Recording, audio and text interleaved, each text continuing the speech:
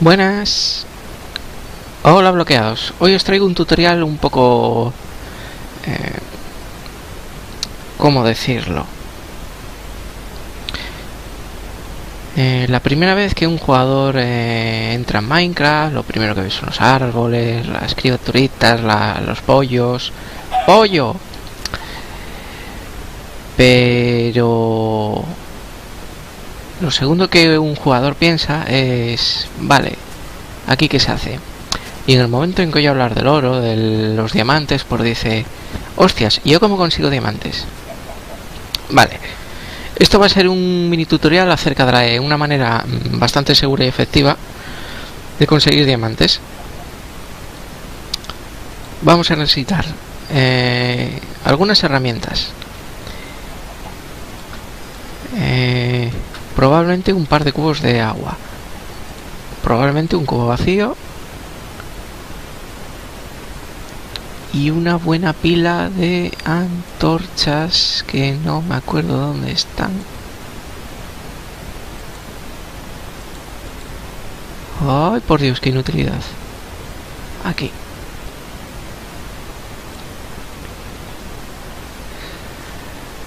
Aquí me va a salir una antorcha, pero bueno, vosotros tendréis que bajar con un buen puñado de ellas. Entonces, punto uno, hay que empezar a bajar. ¿Desde dónde empezamos a bajar? ¿Desde lo alto de la montaña? No, hombre, no. Nos vamos cerca de costa, donde estemos más bajo. Por ejemplo, por aquí.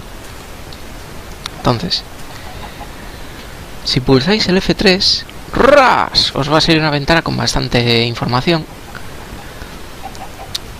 y a la izquierda del todo, a la mitad, hay tres números. Hay X, Y y Z.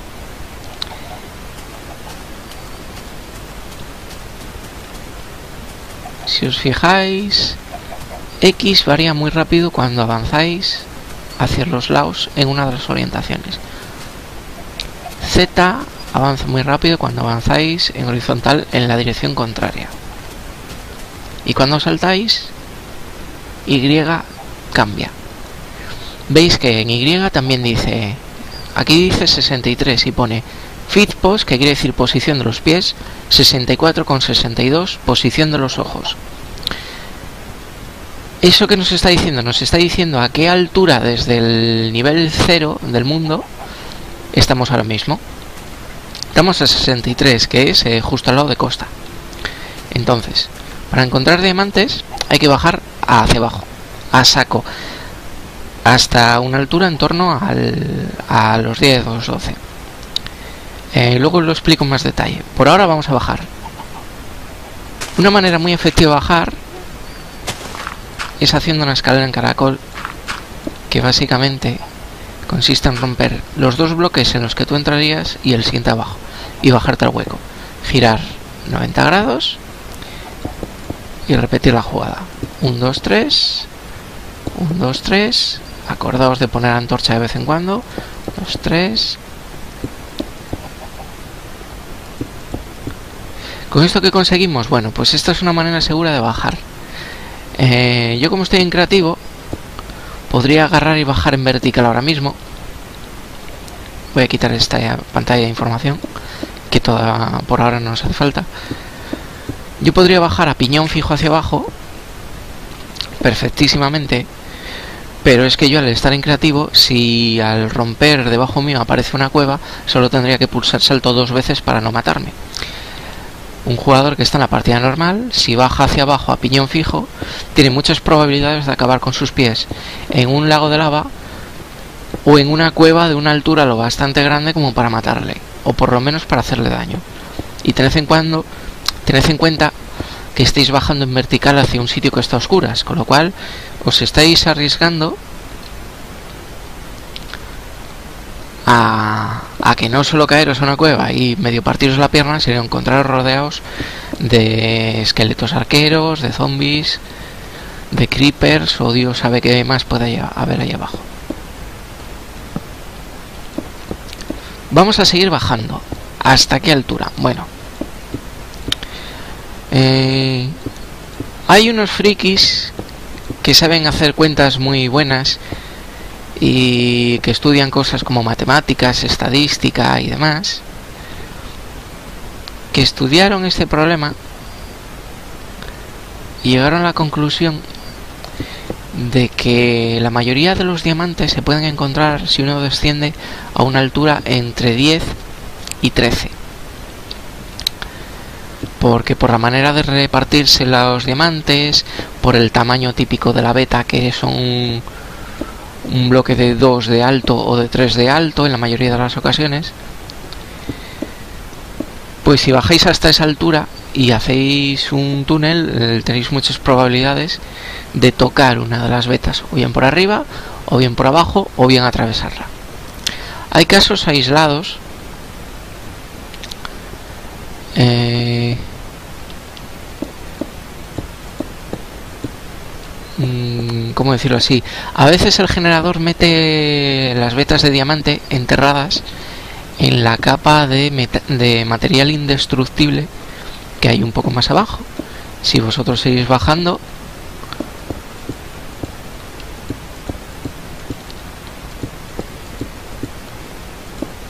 os vais a encontrar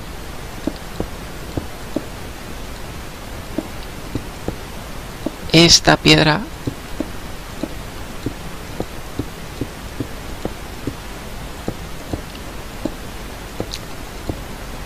esta capa de piedras de aquí. Estas piedras eh, en creativo yo las puedo destruir, pero en una partida normal este material es indestructible. Y este material os está diciendo que estáis casi, casi, casi en el borde inferior del mapa y que no podréis continuar bajando. Aquí estamos a una altura de, 3 sobre el nivel inferior. Notáis además que se ven unas chispas de humo que salen de, de abajo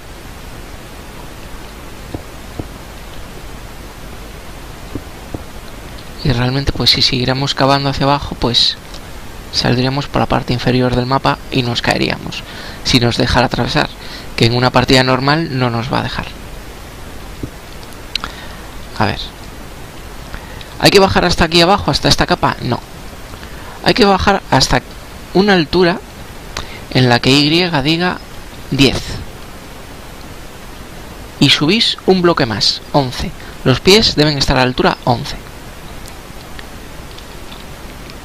¿Por qué? Porque a altura 10 se forman lagos de lava. Entonces, vosotros os ponéis a cavar. Y si por lo que sea hay un lago de lava, no os vais a encontrar con él a la misma altura que vosotros, sino un bloque más hacia abajo. Por lo tanto, no, no corréis riesgo de que os inunda el, el, el túnel de lava. Entonces, la cosa es, hay que hacer túneles partiendo de donde hayáis llegado a esa altura. Los vais a iluminar para que no salgan bichos. Básicamente ponéis a la altura del suelo. En el último bloque que veáis iluminado, este, ponéis antorcha. Esa es la manera de, avanzar lo más posible con las con la luz de las antorchas. Vosotros vais andando y en el último bloque que veáis que está iluminado ponéis la antorcha.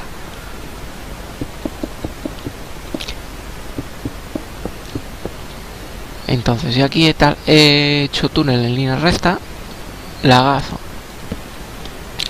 Entonces, con esto habéis cubierto una distancia en línea recta. Ahora lo que hay que hacer es a partir de este túnel abrir túneles laterales. Llegáis y partís de aquí. Ta, ta, ta, así empezáis.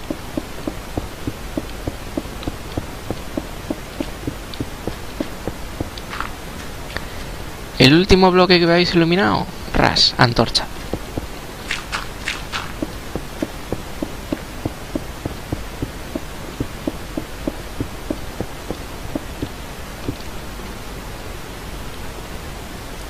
el último que veis iluminado, antorcha. Y así hacia adelante.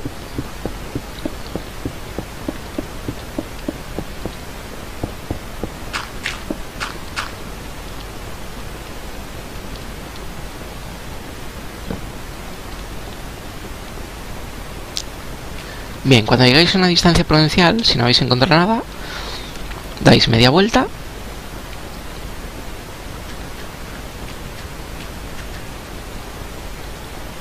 Os venís un poco hacia acá y abrís otro túnel. ¿A qué distancia? Bueno, los frikis estos, eh, con los números en la mano y tirando estadísticas, han llegado a la conclusión de que el mayor rendimiento de diamantes encontrados en comparación con bloques picados se obtiene dejando 1, 2, 3, 4, 5, 6 metros de separación entre túnel y túnel.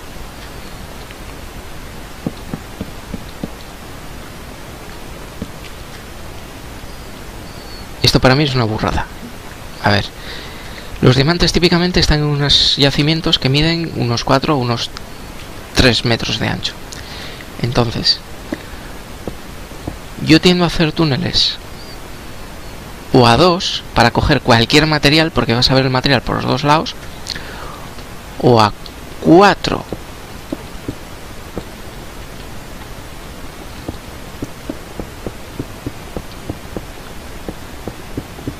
porque las probabilidades de encontrártelo mmm, son lo bastante altas como para que merezca la pena apartarse esos cuatro metros. Solo si de verdad estoy yendo a por cantidades grandes de materiales y de cualquier material, entonces me compensa usar el, el método de separación de dos bloques por el medio. Entonces, pues típicamente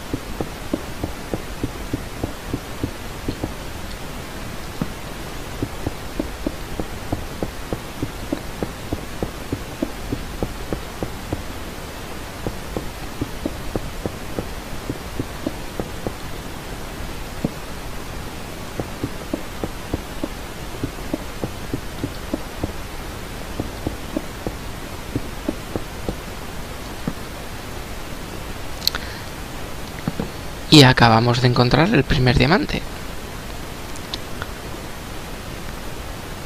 Rompemos por alrededor. Hay que destapar la beta.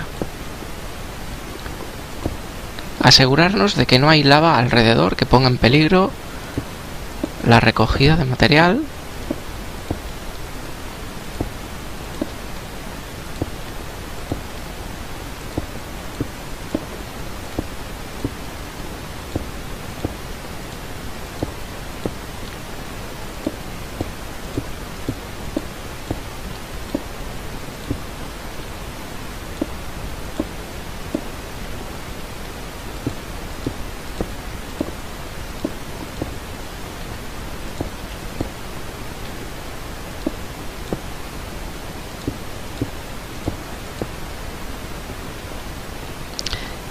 Y ya está, aquí tenemos nuestro primer filón de diamantes. Tenemos tres por este lado, tres por este otro lado, seis diamantes.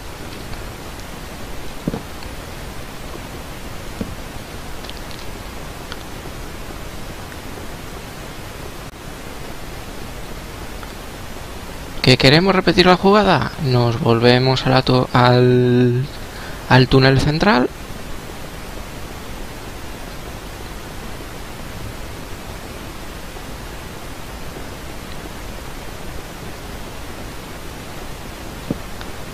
avanzamos la distancia reglamentaria, yo había dicho dejar 4 metros, 1, 2, 3, 4, 1, 2, 3, 4, en el quinto metro abro. Y volvemos otra vez, antorcha al principio. El último que habéis iluminado, le ponéis la antorcha.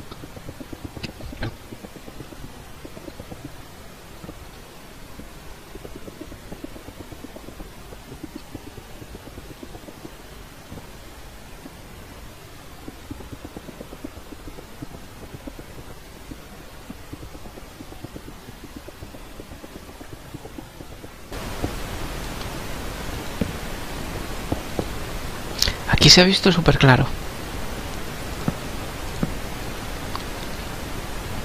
¿Veis el último bloque claro antes del primer bloque oscuro? Ese es el último bloque iluminado.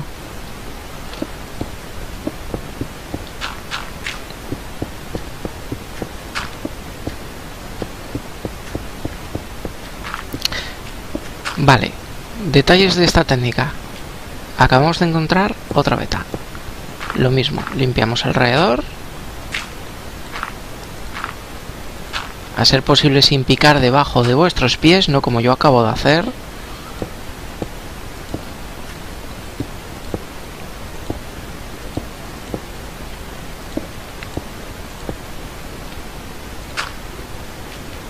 Esta es más pequeña, pero la hemos encontrado igualmente.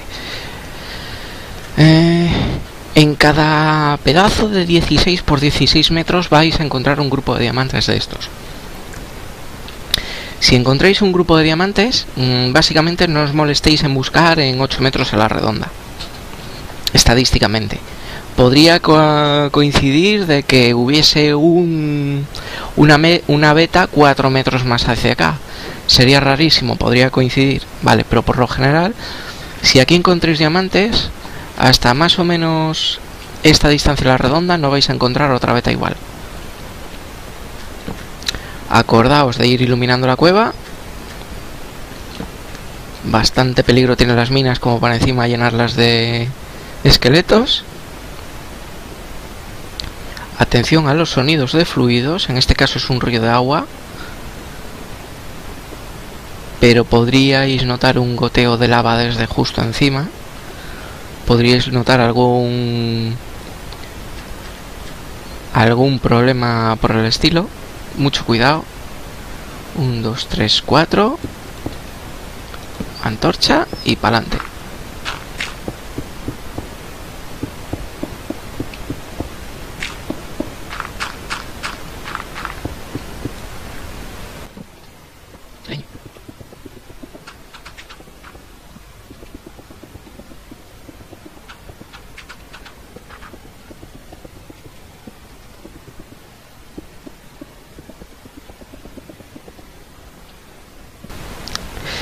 qué ponemos las antorchas abajo? Bueno, la antorcha provoca un nivel de, de, iluminación. Pongamos que es un número redondo, 10. Por cada bloque que nos alejemos, bloque en tres dimensiones, este espacio de aire, por ejemplo, eh, cada uno de esos espacios, la luz va a disminuir un punto. O sea, si aquí tenemos 10, aquí sería 9, 8, 7, 6, 5. Si en vez de ponerlo aquí a la altura del suelo, lo ponemos aquí arriba, no solo avanzamos los 9 hasta aquí, sino uno hacia abajo. Con lo cual le estamos restando un punto de fuerza a la antorcha. A menos que os sobren las antorchas y tengáis esto realmente sembrado de ello,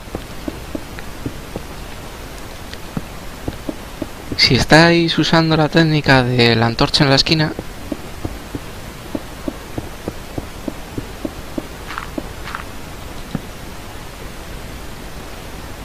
pues ponerla en el suelo porque vais a avanzar un poco más.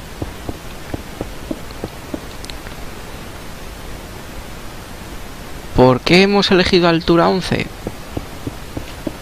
Eso ya lo he dicho, por la lava, que hay altura 10.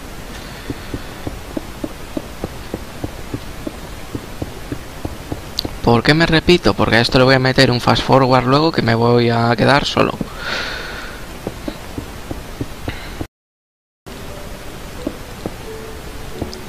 Otra manera que tenéis de hacerlo es, en vez de iros hasta allá, contáis aquí una, dos, tres,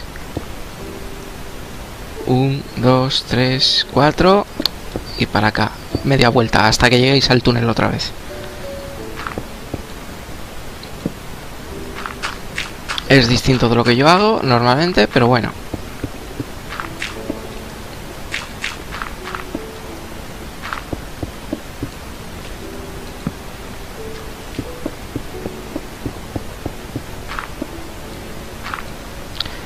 Y aquí tenéis demostración. Lago de lava. Si hubiésemos picado a altura 10, o sea, con los pies en altura 10, ahora tendríamos lava entrando en el túnel. Yo aquí estoy con el modo creativo, estoy picando a toda velocidad y estoy picando a ráfagas, pero si sois de los que va con el pico y dejáis apretado y vais eh, caminando hacia la pared, acordaos de ir apretando mayúsculas izquierda para que si os encontréis con uno de estos os quedéis en el borde en vez de caeros a la lava.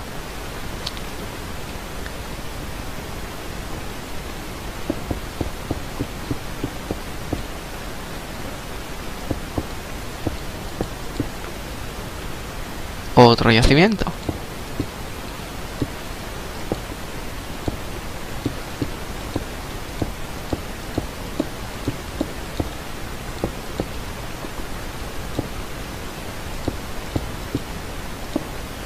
Entonces, os acordaréis de que os dije de traer un par de cubos de agua. ¿Para qué? Para situaciones como estas. Aquí yo he podido bordear por el costado, pero si no hubiese podido, tiro el cubo de agua.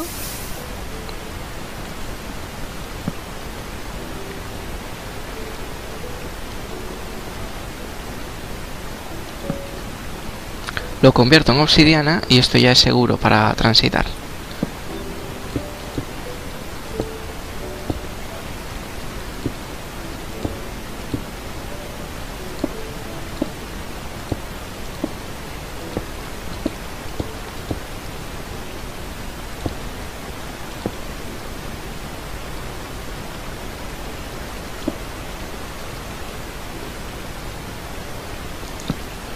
¿Qué ha pasado aquí? No hemos hecho caso de la pista. Está goteando desde el techo, está goteando agua. Mucho cuidado aquí al picar, porque agua a estas profundidades significa río submarino. Río subterráneo, perdón.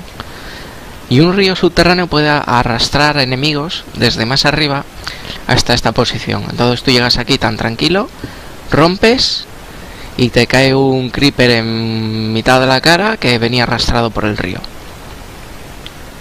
Mucho cuidado esta pista. Y si en vez de ser de agua es roja, lava, todavía más cuidado. Y ya está. En un momentín de vídeo pues hemos encontrado tres vetas de diamantes. Espero que os sirva la técnica. Y nos vemos en el siguiente tutorial. Hasta luego.